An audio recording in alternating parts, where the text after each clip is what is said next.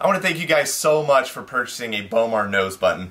We've worked for two years to get this as perfect as possible, making the most consistent anchor point an archer could ever shoot, and we have perfected it with the Bowmar nose button. And in this package, it comes with two nose buttons, two different sizes, a smaller and a larger size, along with the serving that you need in order to tie it onto your string. So now I'm going to show you guys exactly how to put this on your bowstring and just how easy it really is. And it'll work on any bowstring on any bow.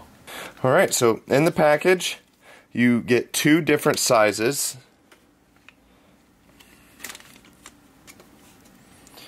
You get two pieces of serving to tie it on, and then you get a small and a large nose button. Now, on these nose buttons, I'm just going to put this other stuff down here for a second. On these nose buttons, you can see the string fits right in there, and there's a tiny slot that's right here. And this is going to be how you clip this onto the string. So you actually put this put it on the string with the long side up, and it literally just clips on just like this.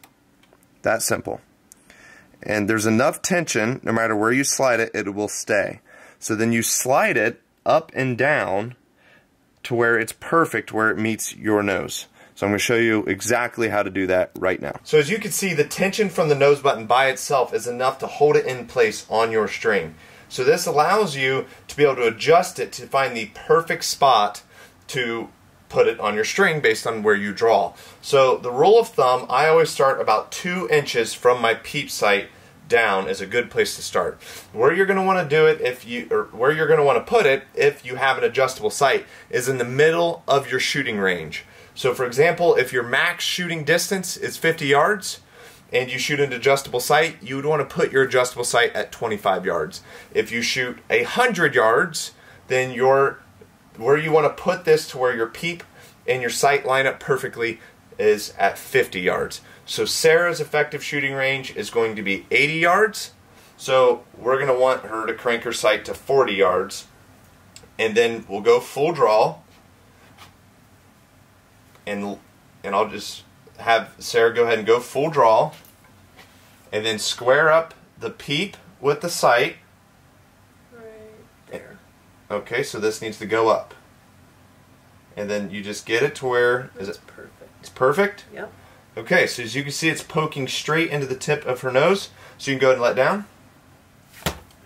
And that is going to stay that is going to stay perfect right there and now it's ready to be tied in. It's as simple as that. Just go full draw, find it. It really helps if you have another person to move it to where it's perfect. But if not, you let down, adjust, go full draw until it's perfect. So that is as simple as it is to adjust it. Now I'm going to show you how to tie it in. By the way, you don't need a bow press to install this. It's just easier for me because then I could use two hands. There's no equipment required other than what comes with it. So Sarah drew back. We got it lined up perfectly. And also another point that I want to make out is the design of this nose button with the rigid spikes all the way around allows for string twist so say your peep's a little off and your D loop is over here and you pull back like this, the rotation of the nose button won't make a difference because there's spikes evenly around the entire the entire thing. So no need to worry about that. So tying it in, you're going to use what's called a constrictor knot. So I'm going to show you guys how to do this with a much bigger string first so then you can see how to do it and then we'll do it on the nose button. I'm going to teach you guys how to tie a three loop constrictor knot with this bigger string because it's easier to see. So you put it over the string like this and then you're going to wrap it three times over this string. Doesn't take a ton of pressure to hold that bottom string down. Just like that.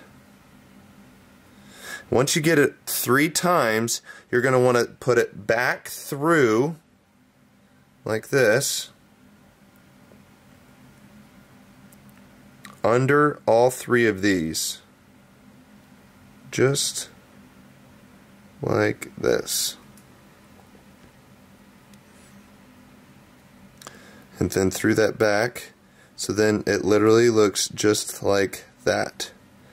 So that is a constrictor knot. The tighter I pull this, the tighter that will get and it won't loosen. So that right there is how you tie a three loop constrictor knot.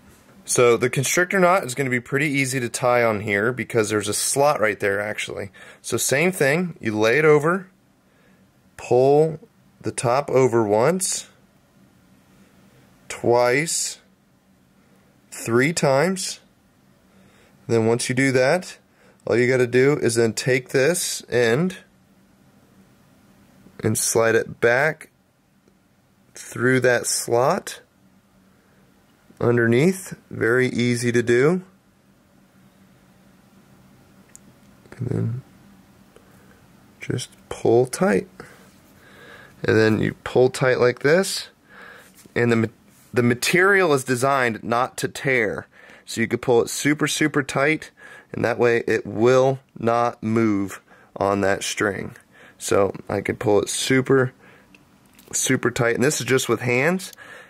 And then what I like to do, because right there, I mean, that's good. That's not going to move by any means. But if I try really, really hard, I can move it like that, you can see. And I like that just to fine tune it before I make it permanent. So once I pull it tight with just my hands like this, and I know that's the spot, I'll draw back, I'll shoot it a half a dozen times and make sure it's perfect. And when it is perfect, I'll take pliers and wrap around like this on the pliers, wrap around like this on the pliers, and then I will pull it super, super tight.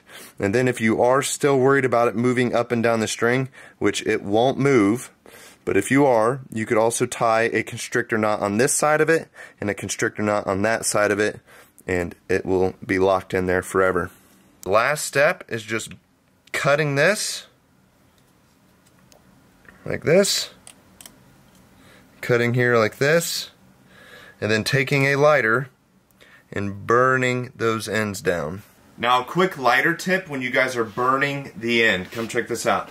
Never ever burn from underneath like this. You will cut your string, it'll burn your string right in half, it'll blow up always burn from above and come down like this. So if the string is at the bottom, just rotate your string and then come down. Never, ever come from the side, never come from the bottom. Always, always, always come from the top.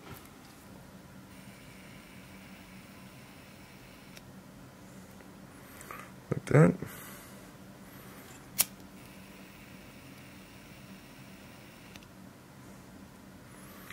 There you go. Now, I would recommend going and shooting this as much as you want, but you can see I can't even rotate this on the string. It is so tight. Like, so I recommend shooting that a ton. I don't think you're going to have any worries about it actually sliding, but one thing you can do, if you want to make it absolutely permanent, is you can do a constrictor knot on this side and a constrictor knot on this side on both sides like this, and that will make it impossible for that to move. But I don't think you have anything to worry. As you can see, that is not going anywhere. And that is how you tie on a Bowmar nose button. I know it's called a nose button, but I think it's important to know exactly where on your nose you should anchor for the best and most consistent results. So I'm going to have my beautiful wife. That's me. Go ahead and go full draw. Now, the tip of your nose, or slightly under the tip, is the most consistent place for you to be able to put the spike. Now that spike is going to poke you right in the nose and you will know exactly where that is. Unlike the string that can move up and down, a spike will be very consistent. So also, if people anchor on the side, like people wear glasses or whatever, anchor there, this is dangerous for you to shoot with that spike. You can go ahead and let down. So we, the material we used actually made it heat sensitive. So you can melt this and make the corners round if it's too sharp. I like it sharp because I anchor right on the tip of my nose or slightly under the tip. Um, I personally do the very tip. I know Levi Morgan that uses this goes slightly under. Sarah goes slightly under. It's kind of a personal preference. But the point of the spikes is to make the most consistent spot. And you'll know exactly when it hits you right in the nose. But if you anchor on the side of your nose, then because you wear glasses or that's how you you prefer to shoot, then you're going to want to take a lighter and melt the tips down and make them slightly duller for it doesn't scratch your nose. And when you let go, that first initial half inch is only going to be about 12 to 15 pounds in the string anyway. It's not going to be that much tension because if you shoot a modern compound, so it's not a huge deal if you do choose to use the spikes, but I would recommend trying it with heating it up with the lighter and melting those down and rounding them off to your personal preference.